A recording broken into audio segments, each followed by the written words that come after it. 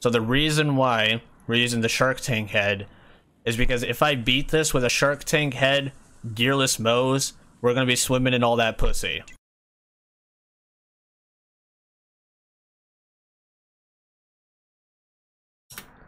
What's going on guys, B-Flat in here, with a little bit of a different video this time. This time I'm going to be doing Gearless Moze. The entire point of the game is going to be going through the entire story of Borderlands 3, entirely gearless. No guns, no weapons of any sort, no grenade mods, no class mods, no shields, no nothing. Just my bare hands, vanilla grenades, no badass rank, or guardian rank I should say, and just using my action skill. This is going to be Iron Bear only Moze. So here when I took down Shiv, I ended up using a, uh, a barrel kick. That was the only way I was able to 1v1 him. Otherwise, I was screwed. So uh, I had to figure out a lot of environmentalist ways to um, get to the beginning part of the games. Here with Mouthpiece, I realized that I had to switch up my Iron Bear tactics. I couldn't just use the Vanquisher pods and run over him. I did end up using Vanquisher pods for this kill, but the uh, very first kill that I used was um, the railguns. The railguns actually helped with a lot of the bosses, as you'll probably see. Uh, I took out all the mobbing parts of this uh, of this section. All the mobbing parts are done. This is going to be just the bosses that I've cleared so far in episode 1. I think I made it up to like Eden 6 halfway through the game uh, when recording this. So there's a fair few bosses that are here. Now the reason why I'm doing this, the entire reason and purpose why I'm doing this, um, I named this character called Proven a Point. And what is the point that I'm exactly trying to get across? It's that Iron Bear is absolutely ridiculous. It is absolutely amazing. It's it's amazing in a broken way. Uh, since our latest patch that came in with DLC 3, I've noticed that Moze is a little good. Now, I completely understand that people want to run around with an Iron Bear and not a Teddy Bear. And that's sort of what we had before, was uh, Iron Bear was kind of useless. It's kind of hop into the bear, exit the bear. Um, it, it was hop in the bear, exit the bear, uh, just to in, in order to proc like anointments, action skill, and annoyance, which is kind of shitty for for an action skill. But what we have now is we have an Iron Bear that can run over every single enemy, every single mob, every single boss, completely gearless. It takes absolutely nothing to run over any of these bosses. Uh, it does millions of damage. It does millions upon millions of damage. And you need absolutely no gear for it. Hence why this uh, challenge run was born. Now, I've never done a gearless run before. I've never done an absolute zero gearless run before. So I'm just relying off of Iron Bear and I'm relying off of um, action skill or uh, skill trees just to get through the entire game. One of the main things that I was using was Dakka Bear. Uh, Dakka Bear is very, very nice because when you hop in Iron Bear, you can hop on the turret. And what the turret allows you to do is um, if you get kills while in the turret, or if Iron Bear while you have Auto Bear is there, you gain uh, cooldown for your Auto Bear. So what I can do is basically hop in the back of the turret. If I get two kills, I get my Iron Bear as soon as I leave the Iron Bear. Which means I can basically hop in, kill two enemies on the back of the turret, hop out, get Iron Bear again, and mobbing is very, very easy. Here I was just talking about the railguns and I ran over uh, Captain Traunt with the uh, with the railguns the railguns were absolutely needed for uh, for Traunt. The Vanquisher pods were not working on his shields as well as I had hoped. Um, moving on to Katagawa Ball here, I ended up uh, using Vanquisher pods. Vanquisher pods worked pretty well against his shields, but not really so much against his armor. Uh, the entire clear was... Uh, this was a first try clear, and I think I did it in one uh, action skill. Which goes back to the whole thing that I was saying earlier, that this is ridiculous. You can run over every single boss if you want in one action skill. Um, and you can do it without having any gear because gear doesn't boost um, or Deer doesn't make you overpowered. Deer can boost your your your power, but uh, you can do it just by yourself. I was doing some recording and some number testing. If you're on Mayhem 10 and you have Vanquisher pods with Iron Bear without having any sort of boost whatsoever, uh, each Vanquisher pod rocket can do about 28 million damage.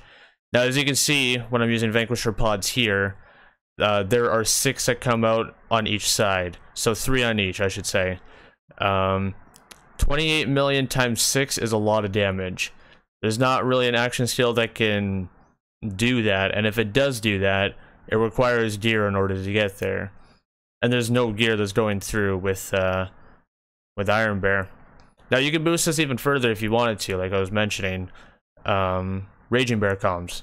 Raging Bear comms can boost this for sure, because you get more points into Stainless Steel Bear, and uh, just its passive ability whenever you take damage while in Iron Bear you increase your damage.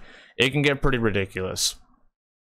Now I know I'm going to get every single Moze main in the comment section going, why would you want to nerf Iron Bear? Iron Bear was always in a bad place.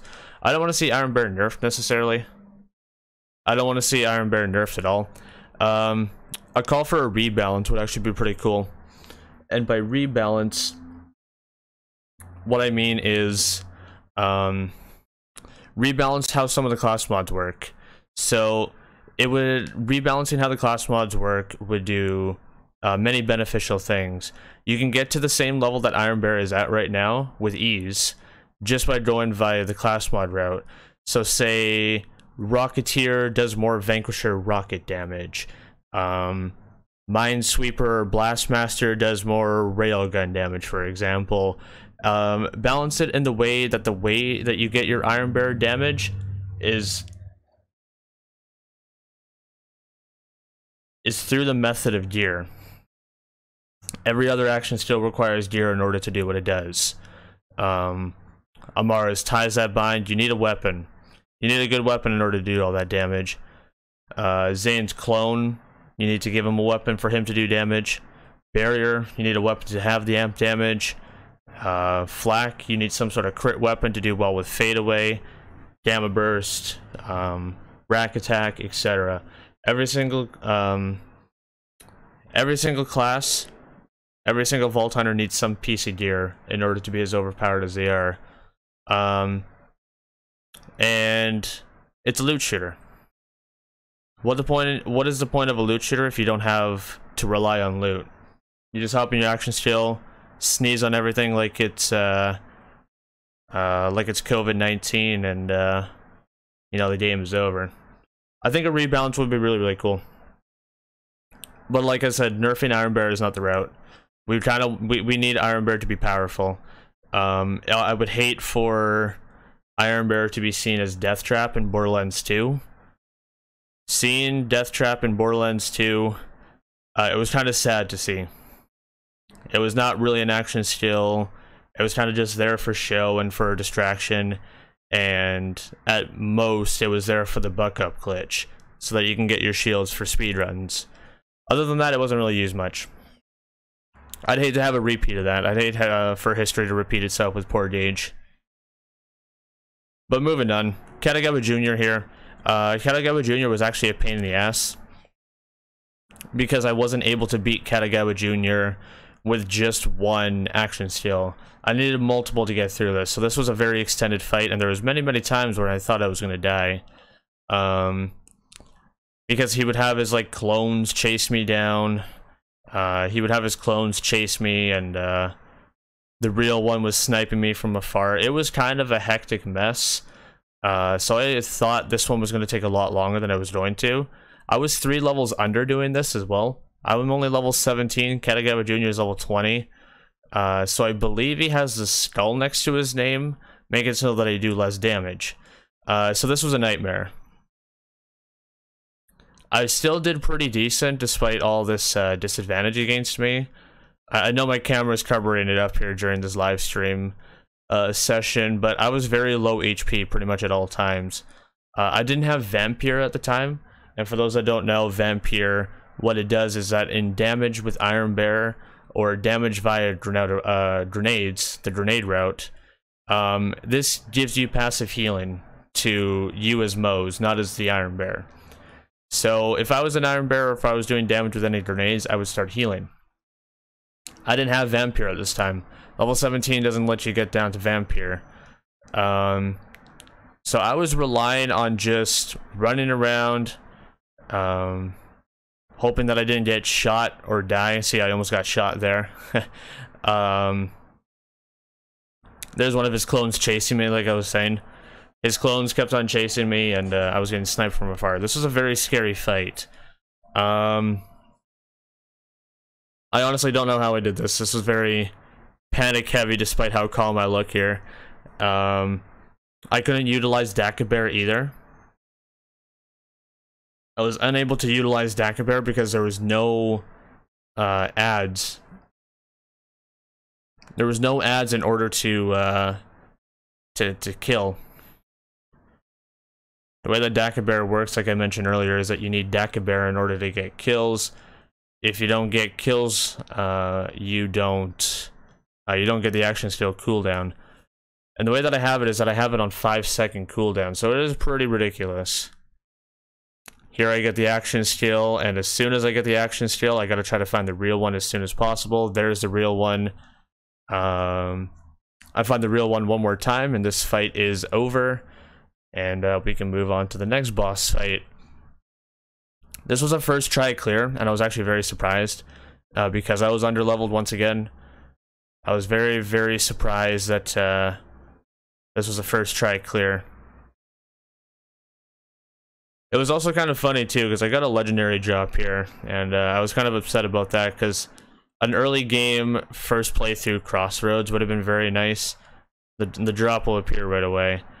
Um, there was a lot of times that I ran into gear that I couldn't use. There's the Crossroads there. A lot of times there was a lot of gear I couldn't use, and uh, most of them were legendaries that were pretty good. Um, but thus is uh, the pains of gearless only challenge runs. So now we have Rampager. Now Rampager was another one of those bosses that I thought was going to be very, very difficult. I thought it was going to be very, very tanky, and I thought it was going to be a big challenge. But then I realized that my break and the uh, opportunities that I had in order to beat this boss was whenever he goes into his immune phase, I leave Iron Bear immediately. And the reason why I do this is so that I can get some cooldown refunded to me while he's doing his immunity nuke phase and changing his uh, his elements. This helped in a major, major way. So as you can see, he's already he's like still doing his immune phase. Uh, I'm already halfway cooled uh, to my next uh, Iron Bear. Now there's also Guardians that spawn in this boss fight. Uh, I utilized those as well to try to get some cooldown just by killing them off. Sadly, I found out that killing the little uh, the little wisps that are there, um, they can revive you, but they don't refund you uh, cooldown to Iron Bear. And I noticed that very quickly. See, I tried to kill one uh, there, but unfortunately there was no kill. There's no refund. Iron Bear is coming back so slowly. I'm always watching the ticker. And then they give me a notification that I have five seconds left and we can enter Iron Bear again. I was actually very shocked that I was on level with this thing. I was like just barely a level under. See, I tried to use Dakka Bear here in order to get some cooldown and some uh, some refunded uh, some refunded cooldown here when the Guardians show up. So I killed one there, so I get some cooldown whenever I'm going to leave the Dakka Bear. And we leave the bear, and I almost have my cooldown just by killing one enemy. Just by leaving the bear and, and uh, killing one Guardian, I almost have my Iron Bear back again. That's how quick it is. If you have it maxed out at 5 out of 5, you can get it back pretty much instantly. And back into Iron Bear. Delete off and we can leave our iron bear and we have it almost cooled down again. We're already halfway through just by firing once. Yeah see i still don't have Vampyr here. But i'm showing off grizzled here because grizzled is my action skill cooldown. I remember explaining this on the stream as to how it works as soon as i get grizzled and explosive punctuation in one kill i can pretty much get my uh, action skills completely cooled down There's Dakka Bear there in the green tree. Uh, that's doing all the... Um, that's doing all the leave there. See, I tried to blow out the wisps, but I don't, uh, I can't kill them with grenades. And I can't melee them either for cooldown. I tried so hard there. um,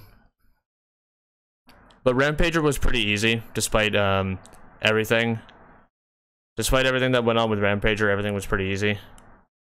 I thought this phase was going to kill me. This is the one phase that I was worried about the most, was uh, his, uh, his fire phase where he nukes the entire arena.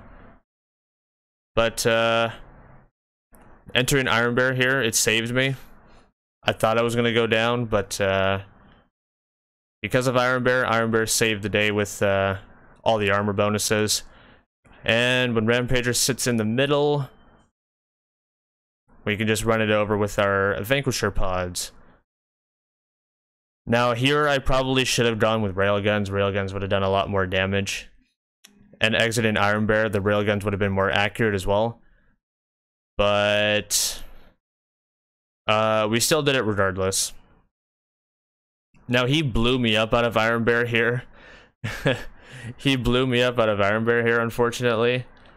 Uh, which means that I needed to run around for an entire action skill because I didn't get any kills outside of Iron Bear, so this was a full cooldown. Gladly, if you have Rampager up to this amount of HP, all he does is kind of just flop on the ground and he doesn't do anything because he's injured. Um, so I ran some laps around him. ran some laps around him here. Got me some cooldown there with that, uh, with that Wraith. I would have been so sad if I would have died here. With that amount of HP, I would have been so sad. So I got desperate just throwing nades at Rampager because I thought I was going to die. Those, uh, those Guardians, they hurt. They do some damage. Maya couldn't even finish off the Rampager. Dang it, Maya, where's your cloud kill? um, Oh, look at that. EchoCast decided to show up there. Cool.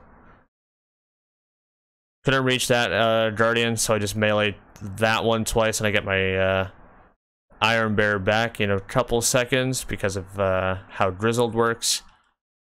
Get it back, and that is a Rampager. Another stressful fight, I had to be honest with you. That was not the easiest fight of all time. But moving on, we're here to in 6. We're moving on to the Warden. We're moving on to the Warden. Now, the Warden was kind of an interesting fight because Warden has a lot of different immunity phases. Warden has a ton of immunity phases. So being able to time Iron Bear and all the immunity phases together was kind of a pain in the ass because I really needed to utilize Dakka Bear here with all the uh, the ads that he spawns.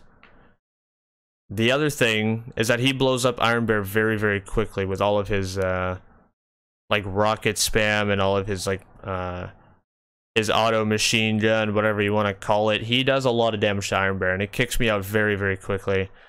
I need to play some hide and go seek with him in order to, uh, kill him off.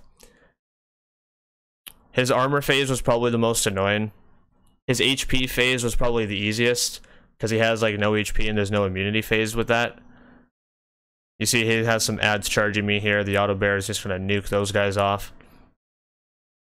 Yeah, he blows up Iron Bear very quickly. I was in Dakka Bear for maybe five seconds there, and I didn't get a full kill on that. Um, that was this was a very very close death. I thought I was gonna die there, but nope. Okay, back into Iron Bear because we got that kill. He gets an immunity phase. He goes into his Raging Warden. And then we kind of just run him over. And that's the warden. So this is as far as I got in episode 1. I wanted to thank you guys for watching the video and going this entire length of time with me. It really does mean the world and a half to me. I do have episode 2 already recorded, and as of the time of this released video, I'm going to be uh, editing that as well. I'm going to be releasing it in a couple of days. It's a very, very good episode. You guys won't want to miss it.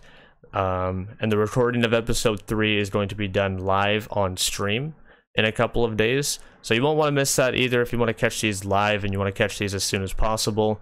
Uh, you can see me streaming from Tuesdays to Saturdays at a 5:30 p.m. CST time.